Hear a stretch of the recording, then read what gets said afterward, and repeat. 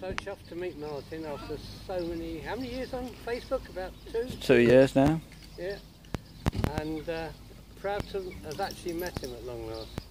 And we've talked a lot about my mu music and my music, and I released the guitar concerto last year.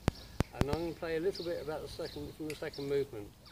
Concerto is called Do We Listen, Will We Ever Learn? And it's about all the stuff that's going on in the world, and we're not doing anything about it. Well, Martin is, but the rest of us aren't.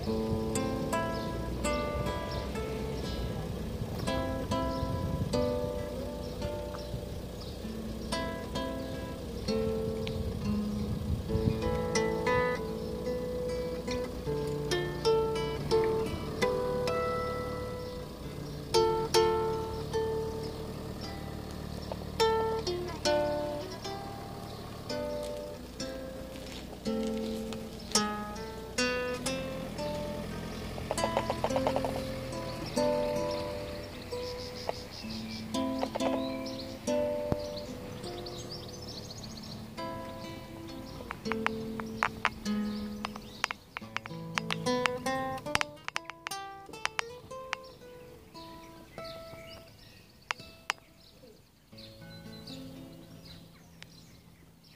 little excerpt. No, that's fine.